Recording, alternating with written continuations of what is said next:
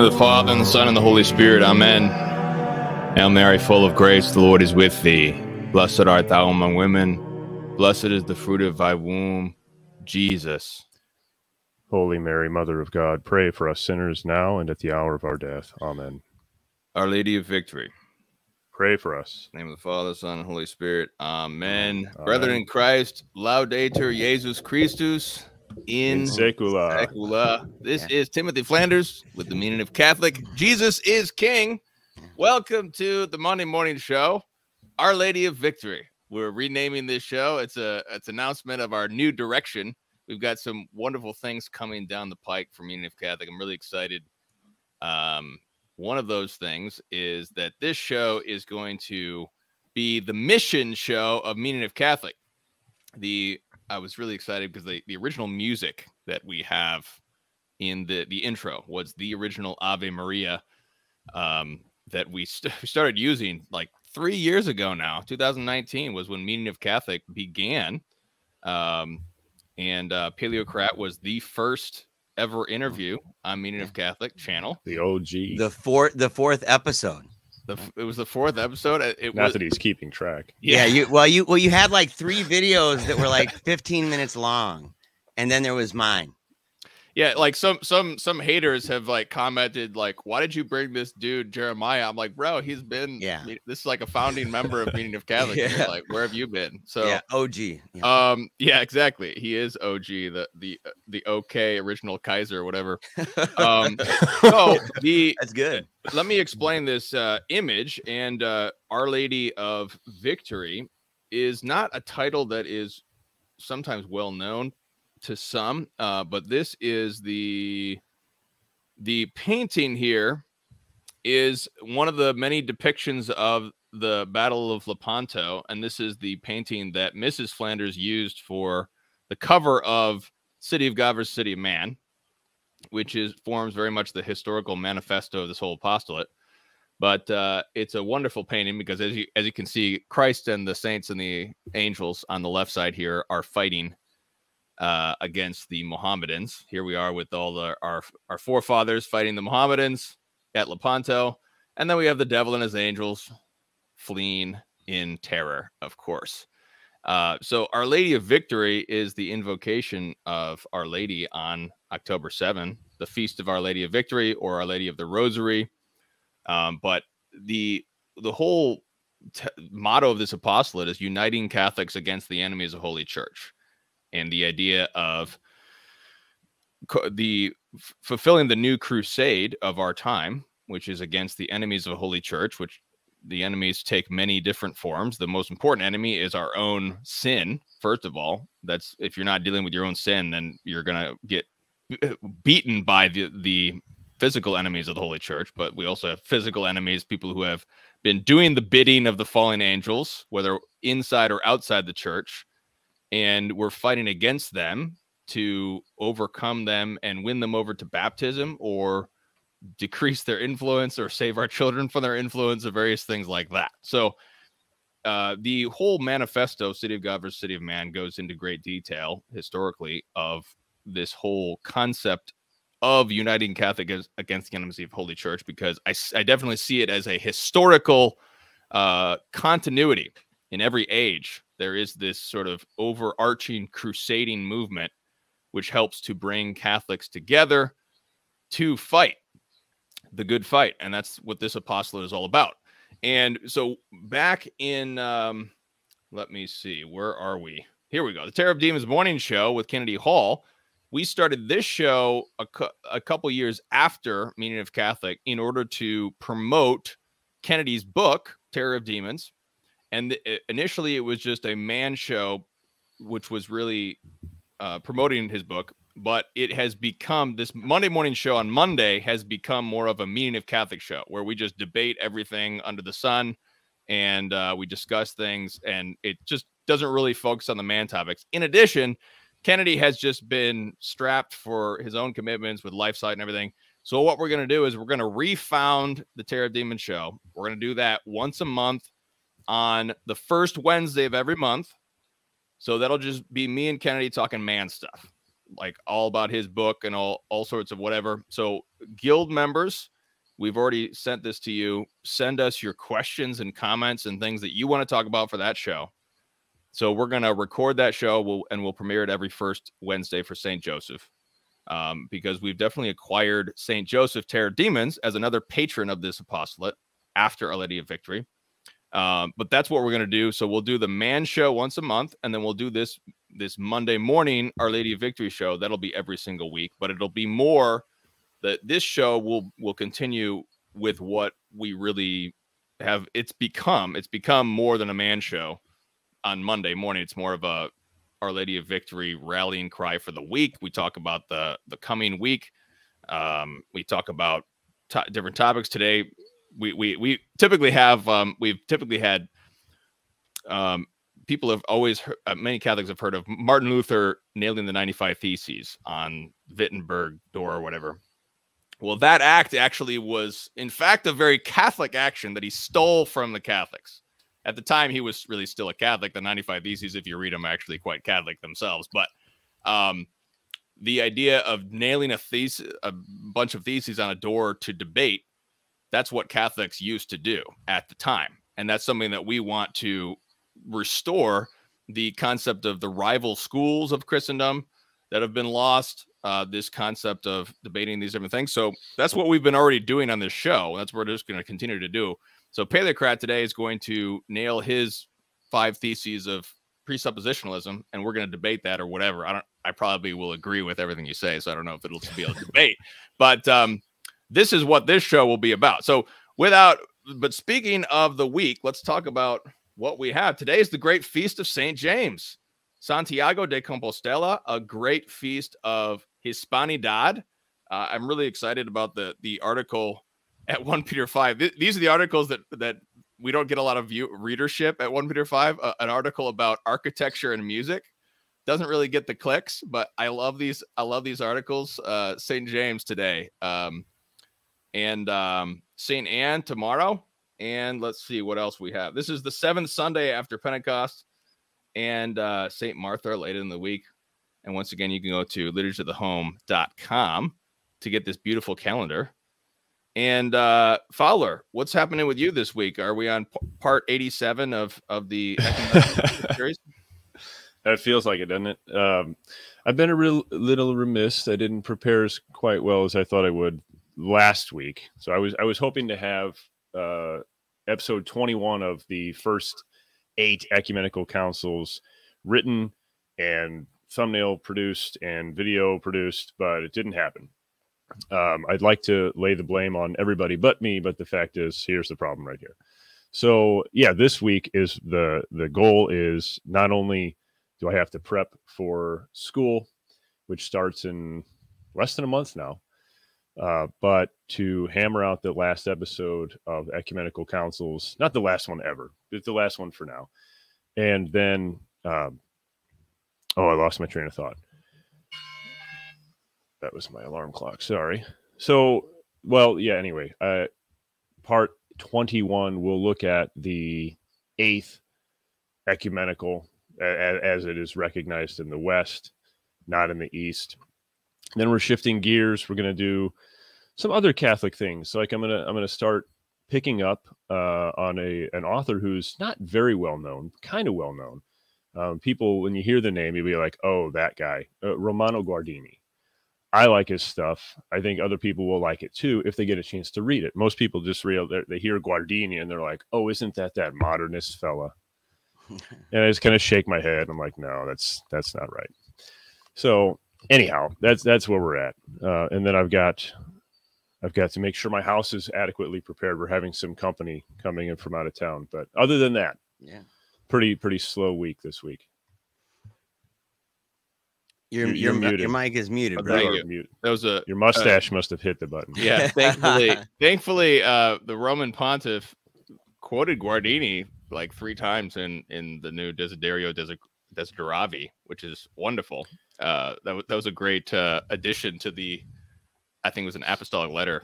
So, yeah, Guardini is not uh, certainly not a modernist. I I I I think I mentioned this in the show before. He has this critique of the modern architecture that that is in, Mhm. in through industrialization, which is invading modern Italy at the time, which I read in the the Catholic environmentalism book, which I love. Anyhow, uh, Paleocrat.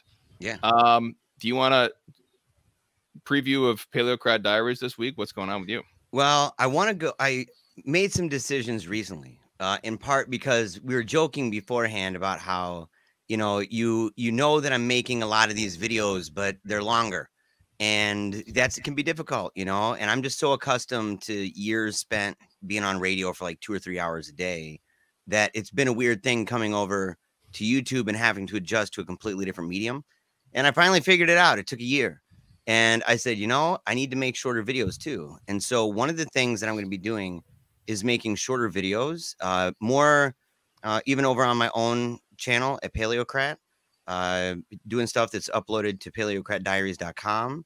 And I've already been putting it together, uh, following the devout life, for example. That's one of the things. So some of it will be more practical, some of it will be more political, um, talking about constructive things, not just simply reactions to uh, news and you know poking fun and poning liberals and stuff.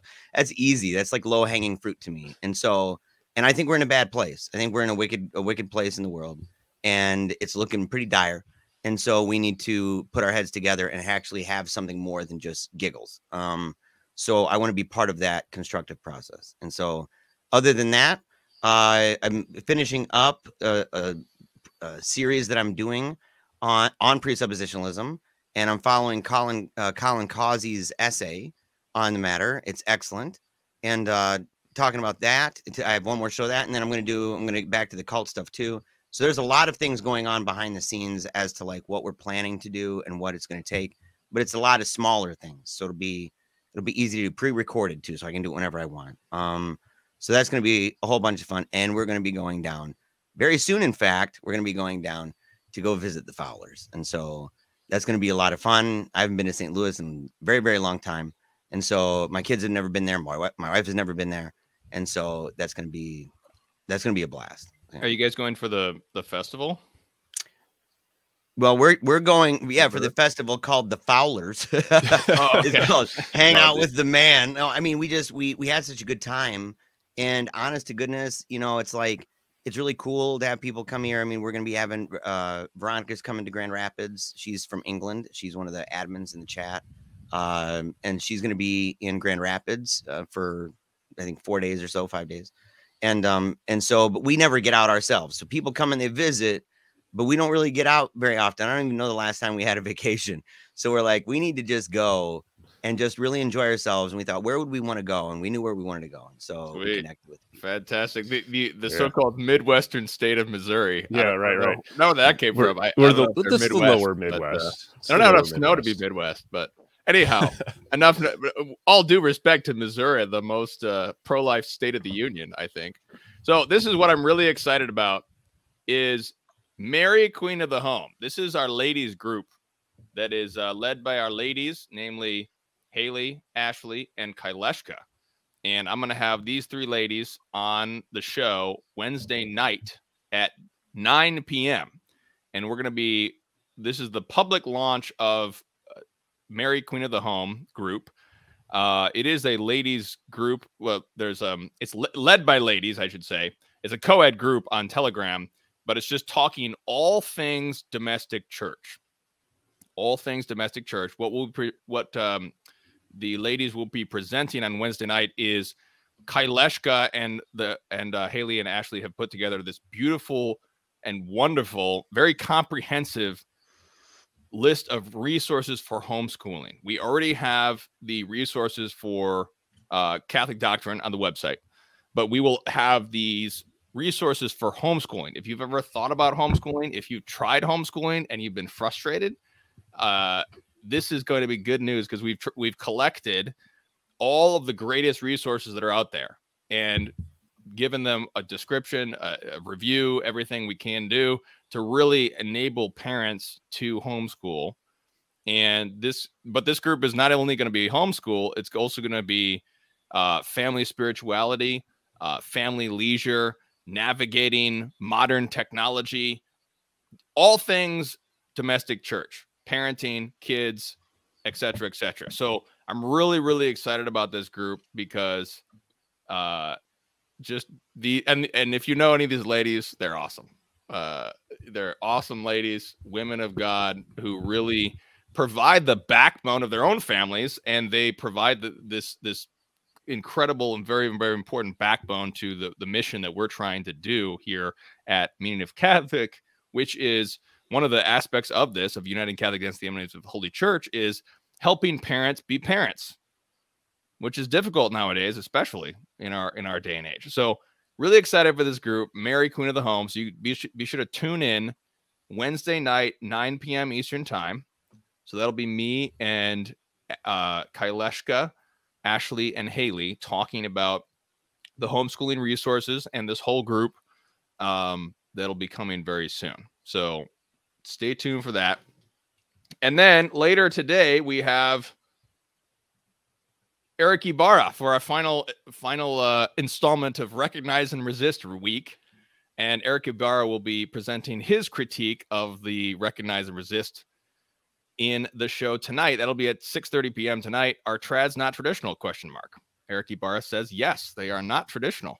So we'll be discussing that tonight. So please support Meaning of Catholic. You can go to patreon.com slash meaning of Catholic, or you can donate. You can have access to all the guild community and the guild content and free books. And without anything further, let's get into our topic. Paleocrat. let's see. What are what is the most basic thing about presuppositionalism? All, all I know is that you can presup we can you can make a presupposition about uh, about something well, you have, yeah, you method. have one. Yeah, you have a you you have a presupposition. Everybody does. Um, a presupposition is just the most basic, fundamental, foundational um, idea that you have, right, about the world. So, or about morals, or wh- what's the grounding of these things? The foundation, uh, whereupon, and the framework wherein and where from uh, our ideas come regarding the world. And it can get confusing because the claim that that I'm making and that other presuppositionalists make, and there is a difference, and that's what the, my series has been about. Colin Causey's essay. It's 30, what, 34 pages long, uh, printed out, right? Small, easy margins, tiny print. So it's a very long essay, and he's going through describing the differences. And he was inspired in large part by various series that I had done, um, saying there this is a viable option, this is a viable method and a lot of the criticisms against it are not any good. Um, but the idea is everybody's got it. What makes it difficult is that the contention is that everybody is operating off of presuppositions that are, in fact, um, connected to their being creatures created in the image of God. And that the way that I describe it, and there are differences on this, but the way I do, I take the Bonaventurian position in the the line of Augustine and Company that says that the first uh, the first thing to fall into the mind, into the intellect, in fact, is the knowledge of God. And so, from the very beginning, for for Bonaventure, that's the first thing, which is why he has a position on um, uh, illuminationism, uh, the idea of like the light of God sh- shedding light on this, and that it returns to the source. Can you explain what what do you mean by that? The first thing that falls into the mind. Yeah, so it's the it's it's the thing from which um one way to conceptualize it is to think of it as a, a framework. So if you have a blank slate, right, and it's just a blank board and there's nothing in it and you're just getting input, you have nothing to contextualize that input. It's just one thing. You wouldn't be able to say that's hard because you wouldn't even know what soft is. There'd be nothing to that, right? So you say, well, how do we gather that then? I mean, if we're if we're basing it one thing off another thing off another thing, each one it would be relatively incoherent. Um, for example, you know, I've I've joked and said like if, if I were to get something from another planet and it were to be a squiggly symbol, and then I got a triangle, and then I got another one, I can come up with any narrative I want.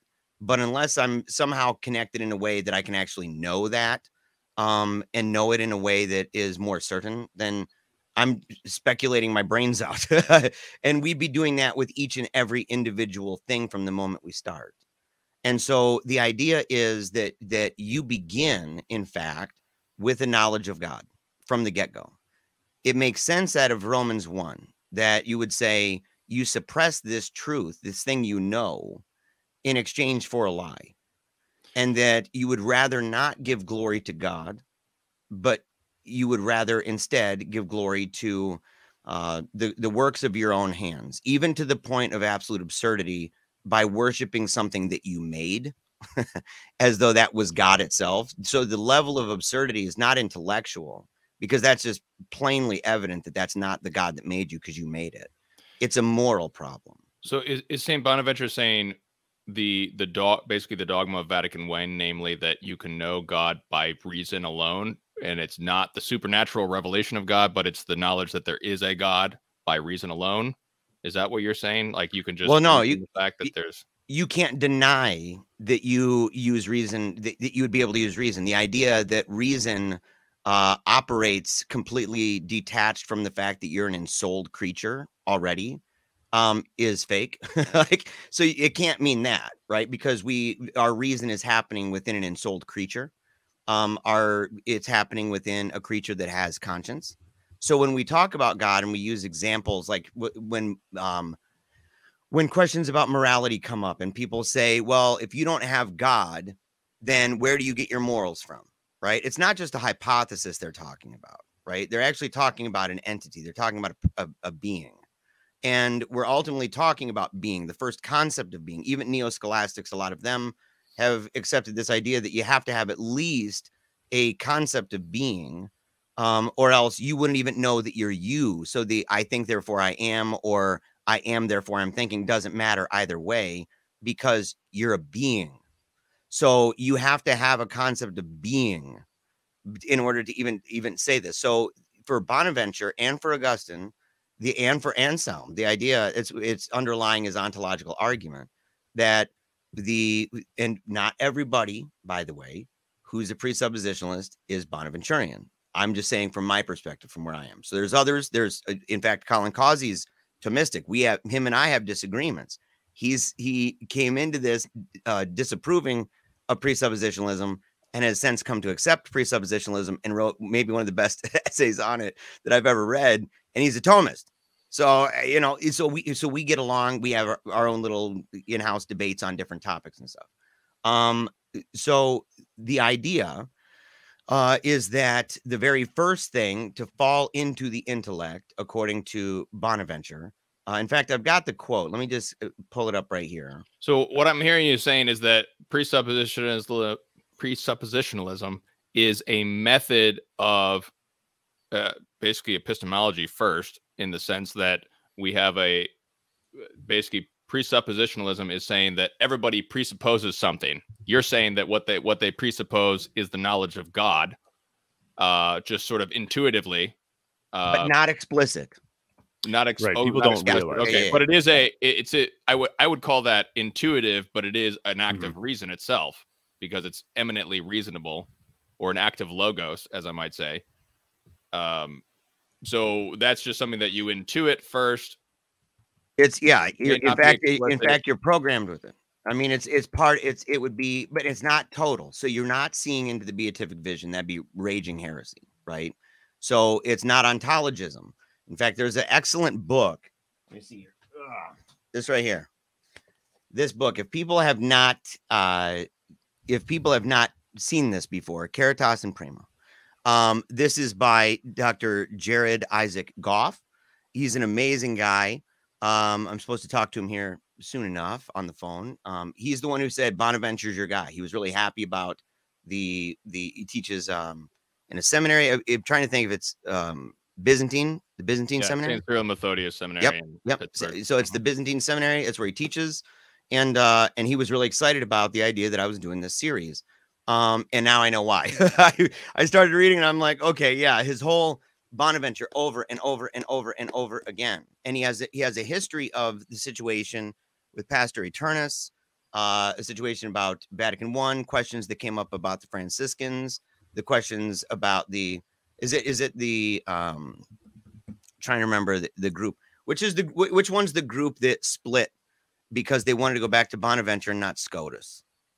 Anyway, there's there's a group Oh, with this. I've right? never heard of that group. I don't know. yeah and so so they they said look we believe the the bonaventure he's really the the the head of this thing more than scotus um and so there was kind of a split with that but um but the idea he goes and he talks about the history of it um but the the basic idea and i was trying to find this here the first thing known by us right here um so let's see okay first thing let me see okay so for that for that in which we know all things and through which we judge all things we know. So he's saying the thing that we know, all things, okay, isolated instances, and through which we judge all things we know, so judgments that we make, things like that, is the first thing known to us. Just as light is known by the eye. Oh no, that, that would be. I'm sorry. That's that's uh um Thomas sounding a lot like him actually. so yeah, it's not. Yeah, it it is. Wow, you just yeah quoted well no because he uses he uses that basically the same thing um and so the the light Well- analogy that he's using basically saying the first thing known to us is like the light and that the light shines on every object that we see and that every object that we see we could not see if it were not for this light but it's easy for us to get bedazzled by the colors and the shapes and the, everything else the movements and we don't even factor in the idea that it takes light in order for us to see that So, So so let me give, yeah. let me let me try to give an example, see if I understand this. So, like my atheist friend comes along and says, uh, "I am passionate for justice, and there we must have justice in the world, and I that's what I'm fighting for, or whatever." But in order to have justice, you have to presuppose that there is a real thing called justice, and it, when it's not just a nominalist world where there people are just imposing their wills on each other. There is an actual thing called justice, which in which which exists objectively, sort of in a Platonic form world at the very least. But I would I would claim that that would be actually be part of God. You'd be have to presuppose that justice is God. God is Yes. justice in order oh, to Oh, yes. even fight for justice. And Otherwise, I found the quote by the way. I'm, so, I'm is sorry. that is that a correct? Yeah. Am I being a presuppositionalist there? well this y- yes sim- very similar so like with with this it, it would mean what do you do from there because that's i think most catholics would believe that right that they would say that justice it's not that we're like taking a little piece, piece here a little piece there and then we're just calling it justice in the fullest sense we could say we can do that we can come up with natural ideas regarding justice so you can take philosophy detached from divine revelation and go and, and look around at the world and piece things together and come up with various models that have uh, things about it that would be worthwhile, things about it that may be true. Um, in part too, because of the assistance that you're getting from the fact that you have a conscience and that you're an ensouled creature and that you're living and moving and having your being in the world that God created. But more more than that, he says this, um, and this is the quote. And I'm sorry that I had it confused because the the article is called Bonaventure's Critique of Thomas Aquinas. It's over at um, Church Life Journal. oh yeah, right. I saw yeah, that and saved it, but never read it. Right. totally awesome but he says this he says um he says it all comes down to exodus 315 he who is so he's saying all the the thing those things that are right is that they are uh, because of that because god is the ultimate in this sense and it says bon, bonaventure insists quote what first falls into the intellect is divine being this would be illuminationism from which it follows that quote it is impossible for him to be thought not to be Okay, so he takes the ontological argument. He says, you can't even think that God doesn't exist. In no way can you think that God doesn't exist. In the same way, he goes further later. We kind of jumped ahead. I want to, I'll, I'll get back to the actual definition of presuppositionalism here, but but I'll say this. He also said his existence is so evident in itself and certain for the knower. So every person in the world, it's so evident and it's so certain that if he would rightly consider it, there's no way for the truth to be removed, for it is a truth most evident and most present, which is absent from no place, no time, no thought, which is not the case with any other created truths. That would include, by the way, um, it, you know, any any other truth you can think of, any uh, uh, law of logic and everything else. It- all these things, insofar as they're certain, they are they are certain because of the very reason that uh, we know those things with certainty at all and the way that we know those things with certainty is in fact because of the very first thing that falls into the intellect and that would be divine being you do not see it explicitly. You see it implicitly. If you saw it explicitly, you're, as I said, you'd be in, you'd be beatific vision. So you, you have, and, and it's not, it's not only that. It's an, it's you also have natural faculties, other things. But with that, you would be able to connect to knowledge outside that would be able to give you a degree of certainty because the question that he was concerned with had a lot to do with questions about certainty, probability, things like that. And he said the only way to to get that is to be able to connect our thoughts, which are all isolated. There are sensory experiences, other things like that that we're looking out in the world. I see this. I I say I see you guys and I say, you guys are, I'm talking to you guys right now. Well, maybe I'm hallucinating, right? There, I can, I can throw it into probabilities, although maybe I'm hallucinating. But like the thing is, is that uh, the idea is if we're taking it off of one small particular plus one small particular plus one small particular, let's say we have a million, let's say we have 10 million particulars in our web and we create a web of that. We, we would then say, well, this is what I what I say is the relationship between those particulars and people have just said you can then extrapolate and throw that out into the universe and say that is true all over the universe. It's a universal law. The question is if we can only know based on individual experience, individual experience, individual experience, that web, that's the border. You can't you cannot speak in with certainty beyond that. In fact, it, you'd be pressed without God as a presupposition to be able to say that outside of your web of your story, of your data points, your story, that that's true for anybody else but you. You would have to then, because they would have their web too. And this person has their web too. And everybody's got their little webs. And you say, how do we then say anything at all about universals? How do we say things with certainty? Yeah, that, and, that, yeah. that seems to be the a critical piece. Let, let me I, I'm sorry to interrupt once again. I'm just trying to like throw this back at you so I understand what you're trying to say. because uh, I'm not following everything you're saying, Jeremiah. But yeah. what I'm what I'm thinking is I had this actual conversation with an atheist, and she said, um, well, I don't believe in God because God is not just. Because God creates people and predestines them to heaven or hell, and He knows whether or not they're going to be good. So that's not just. He shouldn't yeah. even he shouldn't even create that person. That's unjust. But then I yeah. think, well, you couldn't even have a standard of justice unless you presuppose that God exists. Yeah. Yeah. Right. Eh, so am I am I being a presupposition? Is this a presupposition well, method that I just employed when I talked with her? Yes and no. Classical people will be like they'll howl. They'll be howling if they if I say yes. But at the same time, that's the same thing I do on any other thing. I say because here's the definition. All this while, 20 minutes in, what is presuppositionalism? A guy named Alberto A asked it on Telegram, and a guy named Lightspeed wrote the answer. And I was in a chat when he wrote it because he likes my stuff. And it was so good that I said, I'm going to use it. Apologetic methodology that compares different worldviews. So your ideas about metaphysics, your ideas about ontology, epistemology, ethics, teleology, that that network of of ultimate assumptions that you have and though that network is your worldview as a system as a whole and it says you compare different worldviews and argues for the worldview that's actually capable of explaining the nature of reality existence whether god exists or not etc i would add to that by saying in this case with you how do you have morals if God doesn't exist? And we can reduce that to absurdity by saying anything they say. There was a, a great example of this. A dude, I don't know if it's Adam Green or what his name is, atheist guy.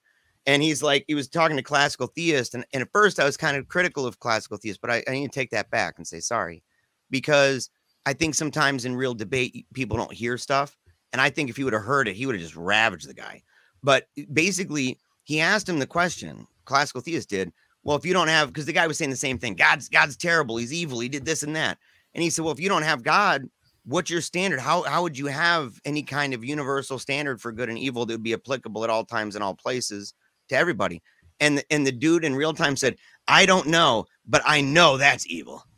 that is a joke, right? And so right. we we can totally do the irrational. Same, yes, yeah. it's irrational, but we can do the same thing with people's with epistemology and say, okay, so you you believe that your worldview says that either everything is one or everything is many.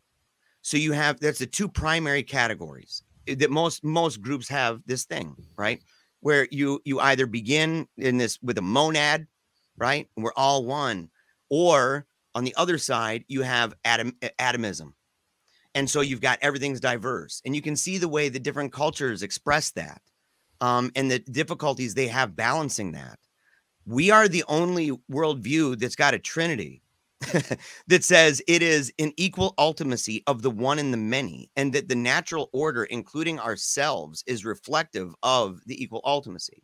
And you go, so it, the the the Trinity does not annihilate and obliterate the oneness of God, and the oneness of God does not absorb the Trinity. So you would have you would still be able to talk Father, Son, and Holy Spirit, and it's not a joke. You're not a modalist, right? And at the same time, you're not a polytheist or a pantheist. And so, no matter what worldviews out there, and the, the reason why that's so important, and I love the the school of thought that's called um, um, Trinitarian ontology. Um, the ideas that are coming out with this, the way that they're studying this, because it's a truly Christian ontology that says we're not just. And I love that Benedict talked about and said we're no longer talking strictly about this kind of regime and domination of just being or substance but also relation. Mm. And that's because we're Trinitarian. So, so, uh, um, you would not have that with, let's say, the Greeks, for example. They wouldn't right. have it the same way. We do have that. And so yeah, we, it makes sense of how we know the world because if we don't have the one and the many, if we don't have that, then we wouldn't be able to distinguish between me and you, or because we would all be one, right? Like we're all one, bro. And you're like, okay, I'll punch you in the face and we'll see how it works. So like that's right away. We can just show this or hop into that fire. And they're like, dude, I don't want to hop in that fire. And I'm like, what do you mean a fire? That's actually just you.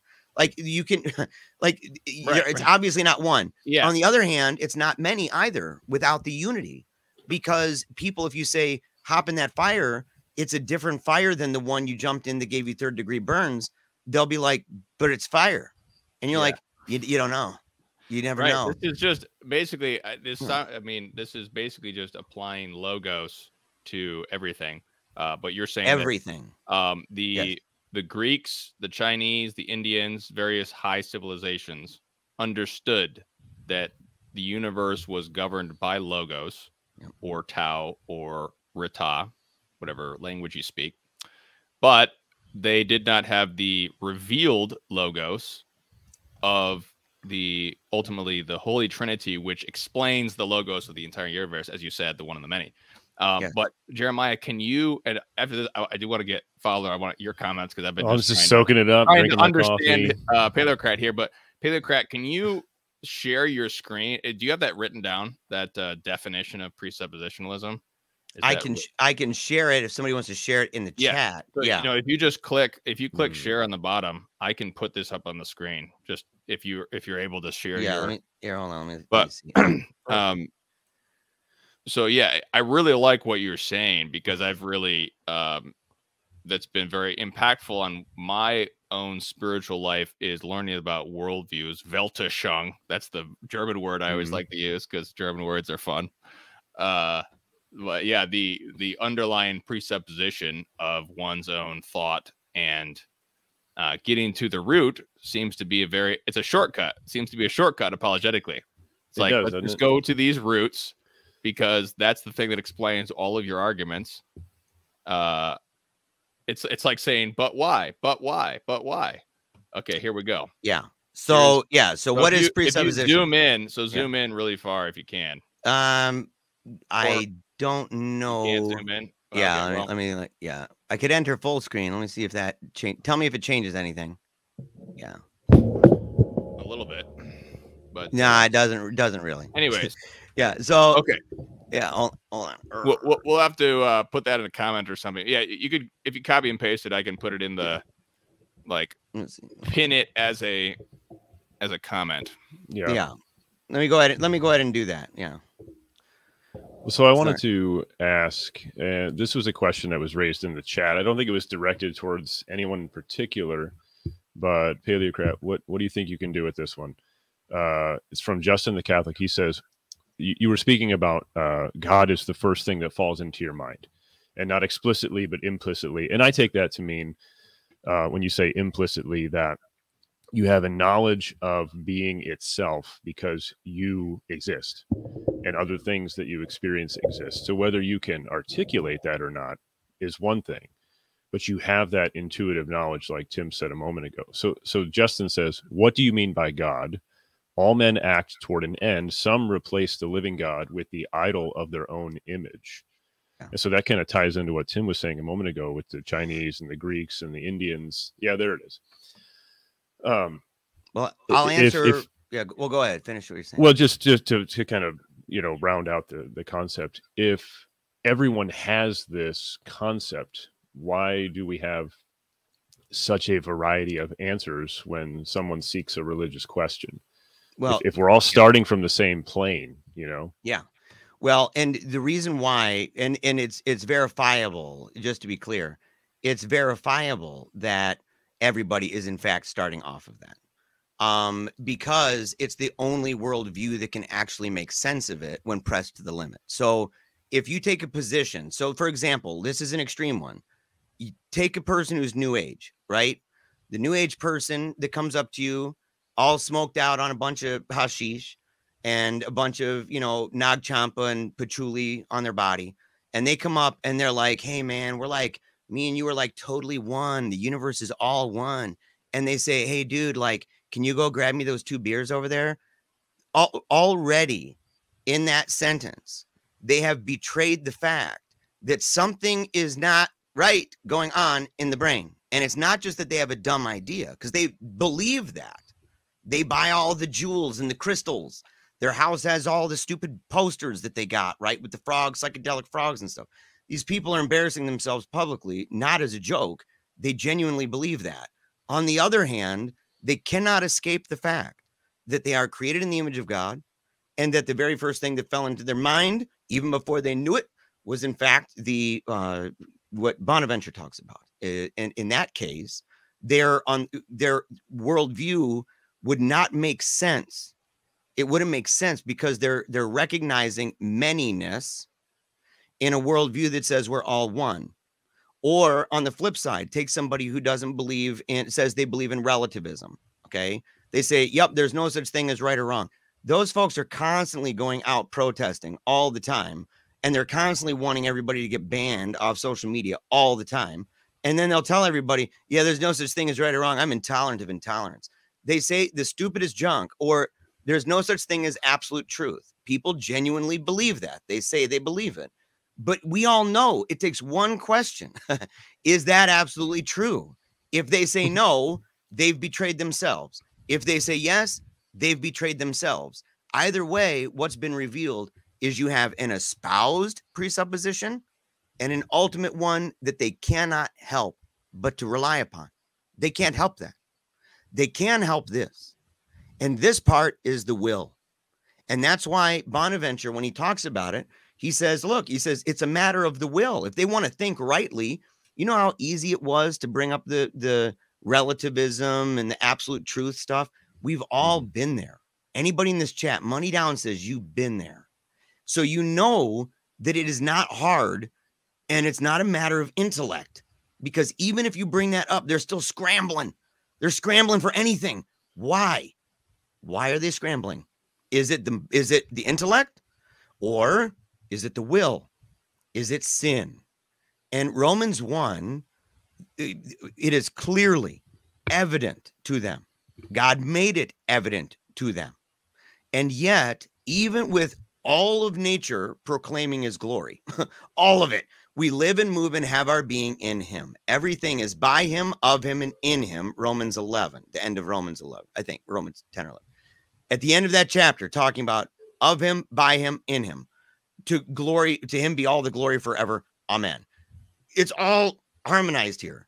And yet somehow magically in that world, we believe that there are people who say, I've never seen any proof. Dude, oh. that is a lie. In fact, the argument itself using words betrays them. Can you, Jeremiah, can you just forward that telegram to me on Telegram? And I yes. will put it up yeah. on the screen so everybody can read this. We can just read through this definition I think on the screen would probably be helpful.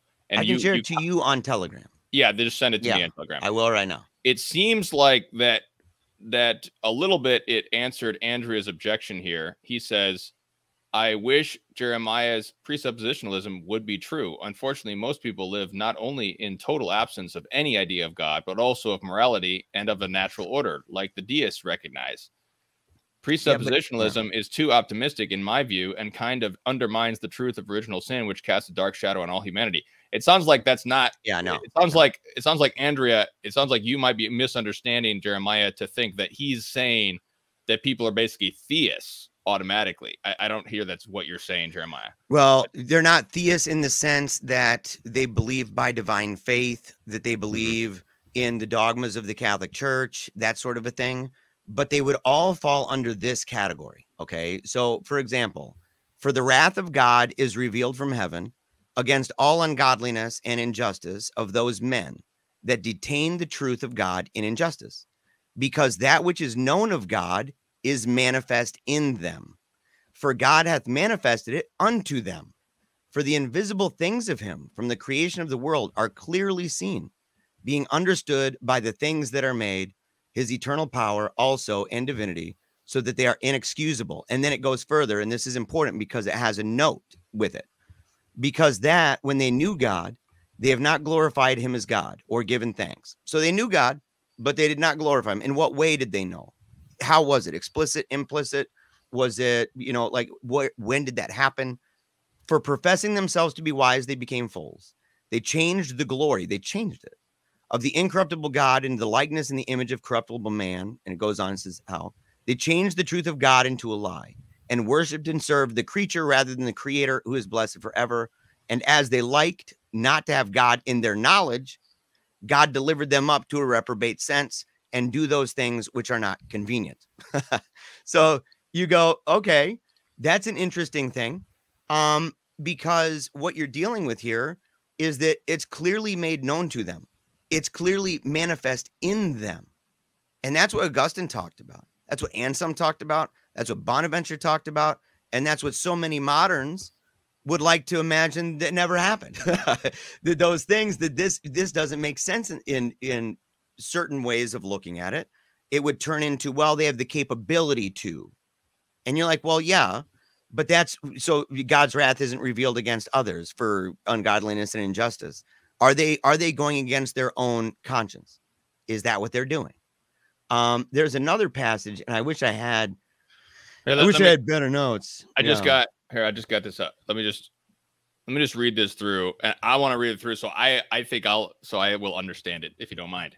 Um, Yeah, yeah. Presuppositionalism is an apologetic methodology that compares different worldviews and argues for the worldview that is actually capable of explaining the nature of reality, existence, whether God exists or not, etc.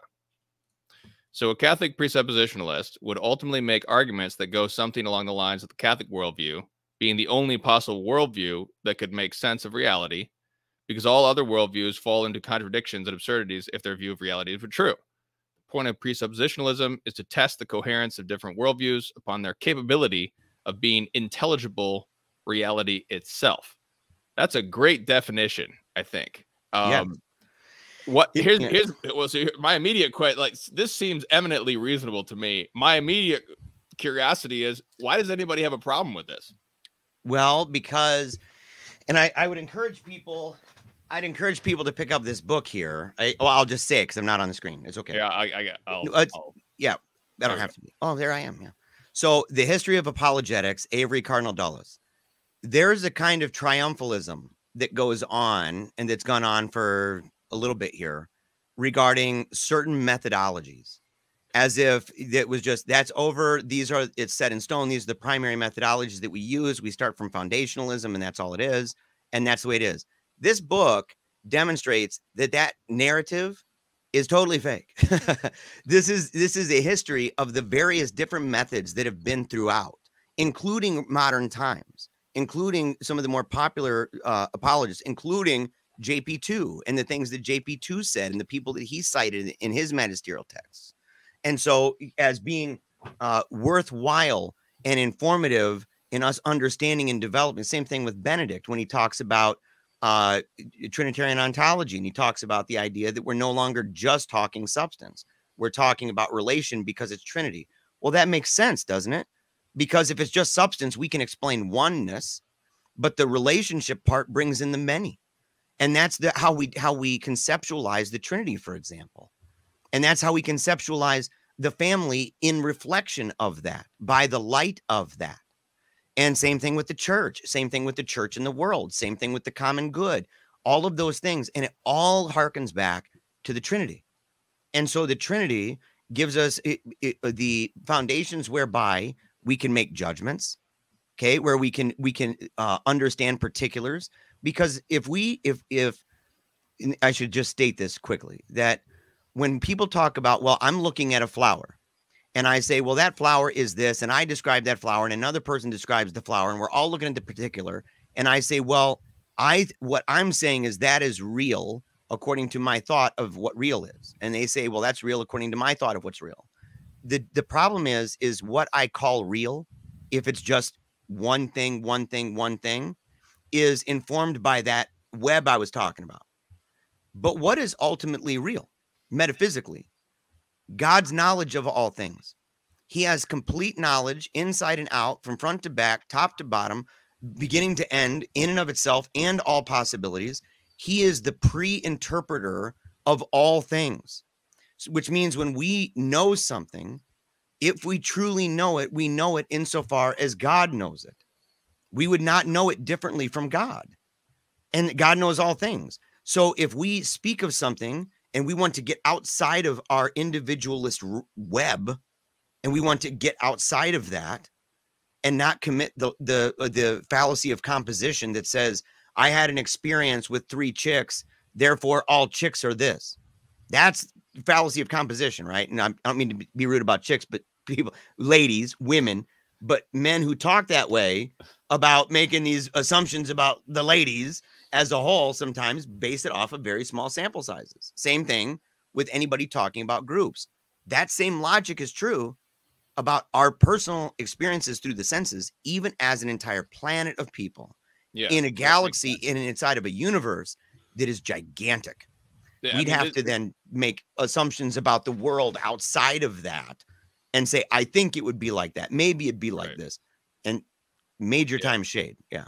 Yeah, this makes a lot of sense. I, I just wanted, we've got about five minutes left. I wanted Fowler to give his comments. I've just been going back and well, forth with you. Fowler, what are your what are your thoughts? my my initial thought. So I was looking at the, um, you know, you get the little time counter that that shows us how long we've been on air. And when Jeremiah started, it was at 18 minutes, and I presupposed that 42 minutes was not enough. And I, I think that that is coming true. Um, so I, I would say that this is not only an acceptable method, but it's and I, am willing to be corrected on this. So feel free to bring the criticisms, everybody. But it seems to me that the classical apologetic method is sort of eh, almost trying to use the well, let me take this piece and let me take this piece and let me take this piece, and I'm going to construct it in such a way that reflects the reality of God and the church and et cetera, et cetera. And so that I can go and present that to somebody else and that they in their own mind will take, well, I like this piece of evidence. Well, I like this piece. Well, can you hone in your argument here? Well, can you hone in your argument there? And it seems to fall into the same trap as those who do that same thing to disprove or attempt to disprove God. And so it seems to me this is a more um, not only intuitive but holistic approach that would take account of our being as relational persons in a moment in history. Uh, you know, I, I, like to tell my friends who who who identify this or that crisis in the church oh, if only we could be like this. And I thought, well, but God chose you to live right now. Right? He he plucked you in or plopped you in this moment of history and the way we experience things and the the fact that the relations that we have with uh, the people around us uh, and and with the Lord Himself, the presuppositional method seems to me to be the only one that can really account for all of that without having to jump through the artificial hoops that atheists and non-believers prop up. So that that's why I like it. I don't fully understand it myself, right? Um, I was not, I, I am not a trained philosopher. So I'm sitting back, I'm like sipping my coffee and, and making faces at Jeremiah, and like I'm I'm learning, I'm learning, and I've tried to get him to to flesh this out, and he has, you know, private conversations. He's probably spent four or five hours trying to explain this to me, mm-hmm. and I'm still like, hmm, okay, I think I understand it. um, but the the more I hear it, the more I, I it sort of makes me realize that not only is it the the one system to rule them all, as it were, but it's it's the one that's most suited to us as um, embodied souls, right? We, you know, it, like he's been saying this whole time with the one and the many and with knowledge and how do you know that this thing is distinct from yourself? And uh, you're, you're talking to a person you're presupposing that they're a person as a matter of fact. So it's not solipsistic. It's all these other things and it's just rolled into one package and it, it's so intuitive it's so intuitive that it's not at first glance the most reasonable thing or it doesn't seem to be. So you know we've had even even some banter in our chat about well this doesn't make sense. How can this because we're we're so full of other things distractions right? And i don't just mean technological distractions but bodily, sensual sort of distractions, right? Our, our day-to-day, whatever you're occupied with, that we don't often get a chance to reflect on the fact that I exist, the fact that you guys exist, the fact that um, this cup of coffee is not like your cup of coffee, although they're similar. And when you do that, you start to see the whole for what it is, right? And we'll never have an exhaustive, uh, you know, comprehension of it by any means, uh, until God willing, we enjoy the beatific vision. But we can get a little slice of it, and then you can take this method and use it to help someone else get a little slice of it, and hopefully, in so doing, bring them along to Holy Mother Church. Amen. Excellent. Paleocrat, final final comments. Final comments. So I have two, I have multiple videos on these subjects. You can find them at the playlist. If you go into any of my videos, it'll say for a complete playlist, it's got my videos and Jake Fowler's videos. I'll link, um, I'll link that playlist in yep. the description of this video. And I'm making playlists today that will have just just presuppositionalism as well as just different books I went through because I make the contention. Um, I'm not the only one on the first one. That is that St. Irenaeus used this kind of method called the hypothesis canon system complex in his argument uh, against the heretics. That St. Francis de Sales used that uh, when he converted nearly 70,000 people because of his efforts um, in the Chablais with his what he called his invincible argument of St. Matthew 18, which I contend may be uniquely risky business, but maybe that because it's about ultimate authority, it verifies itself um, and even the passage itself is trans. You can uh, understand it transcendentally because Catholicism is the only uh, ecclesiology that if you plug it in, that it satisfies the conditions that would be required for that passage to even make sense. Um, but I would say this: when number one, I would really encourage people in this here. This is the end of the book. Cardinal Avery, uh, Avery Cardinal Dulles does an excellent job. And in the end, he talks about presuppositionalism. And he says there's an analogous kind of method with this that can be found among Catholics who, following Augustine and Anselm, and he goes through and he's describing what this could be, this thing. And he says Vatican II seems to endorse this style of argument. The Constitution of the Church of the Modern World, after speaking of the mystery of the human person in the light of Revelation, concludes through Christ and in Christ, the riddles of sorrow and death grow meaningful. I would simply say it's also those things. So it's a precondition to make sense of our sorrows or our sufferings or the other things that we have in our lives. And I would list just these as examples. Every debate you do, this is the last thing I'll say. Every debate you do, no matter what method you're using, if you're not a fideist and you're actually providing arguments to people and using reason and logic, if you're doing that, you are relying on some kind of a belief about the one and the many. you are relying on something that gives makes sense of intelligible experience, meaningful experience, meaningful words, value, purpose, logic, the universality of logic, that it's abstract, certainty, the uniformity of nature, induction, that you can say that the future will be like the past, right and wrong, good and evil, true, uh, truth and falsity. All of these things are kind of hidden, but you're using those all the time, every time you say something. And the question is if the atheist is true, and if if the agnostic, if the deist, if the uh, if the Talmudist, if the Mohammedan, if the Protestant, if any of these different groups, if they use that and they're using those tools and you press them on the issue of the Trinity. And by the way, in the in the comments, someone said that it's not because the Trinity, it's because God's attributes. They really, they really should read uh the paragraphs in the 200s, the 230s, I think, in the catechism talking about um that the the Trinity illuminates, right, this thing, and that God's work reveals who He is in Himself, the mystery, and all that, and that it's within the Trinity, that the Trinity is the most central to all of those things. So we're not just talking about some abstract God. We're not just talking about an energy source, right? We're talking about God. Well, who's God? And the moment we say who's God, that affects it. I'm sorry. in fact, that's exactly what we're talking about. We, I'm just saying we start with it.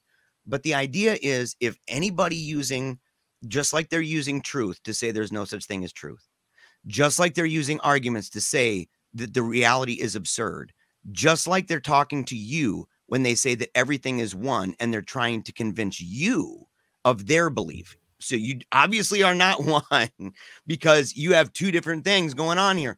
They are using beliefs that only make sense in our worldview and that if pressed it doesn't mean their worldview doesn't make sense of anything. There are a lot of really intelligent people that do remarkable things, creating remarkable technologies and medicines, but they wouldn't be able to do that if they were not created in the likeness and image of God, which is our conclusion that we're trying to convince them of anyway. And if it would, so it's real as we're trying to convince them, it's still true, just as true. And that it wouldn't be true if they were not living and moving and having their being in the world that God created. And if those things were not true, maybe, maybe it would make sense. But then again, I don't know how anything would make sense because this is the only world we've got. and I look and say, well, in this world, to make sense of all of these things that I mentioned value, purpose, uniformity, induction, all that that's essential to us talking, you need the Trinitarian God of Catholicism.